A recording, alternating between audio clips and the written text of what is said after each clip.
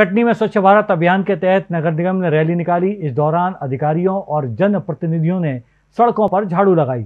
Rally में स्कूली छात्रों ने भी भाग लिया। कटनी नगर निगम से शहर भ्रमण करते हुए सभी लोगों ने नदी घाट पर पहुंचकर श्रमदान किया।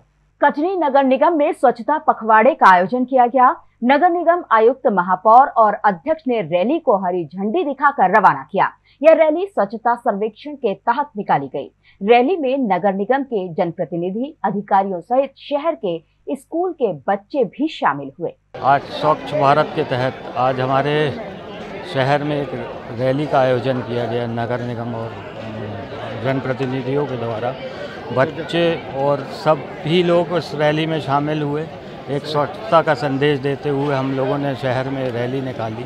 लोगों को जागरूक करने की एक छोटा सा प्रयास। मुख्यमंत्री जनसेवा अभियान और स्वच्छता पखवाड़ा दोनों एक साथ मनाए जा रहे हैं। आज उसकी शुरुआत है। आज की तारीख में हमको इस कार्यक्रम शुरू करना है। ये कार्यक्रम आज से शुरू होकर स्वच्छता पखवाड़ा दो अक्टूबर तक चलेगा और मुख्यमंत्री जनसेवा अभियान इकतीस अक्टूबर तक चलेगा। किसी न किसी प्रकार की गतिविधियाँ लगभग इस इस पूरे पीरियड में रोज़ ही होंगी।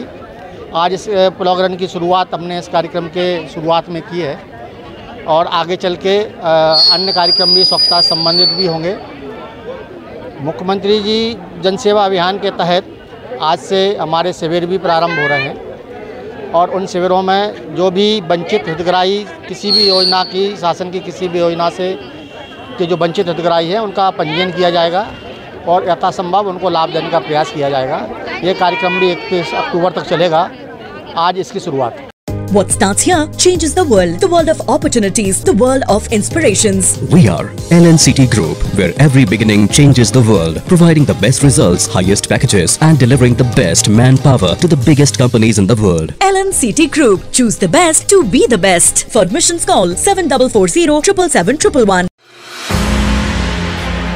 Rabindranath Tagore University, the pioneers in skill development with focus on creating industry-ready professionals.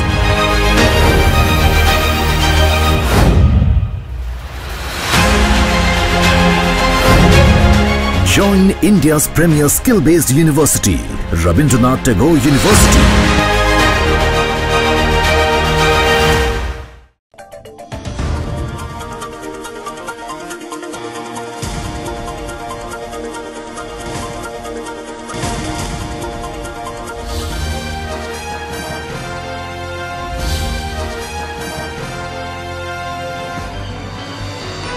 आप देख रहे हैं दखल न्यूज़।